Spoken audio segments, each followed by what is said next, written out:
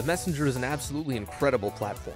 It utilizes both styles of retro platforming, with linear Ninja Gaiden esque stages at first, and then Super Metroid like exploration later in the game. This, along with tons of different movement tools, creates a fast paced platforming system and a satisfying game.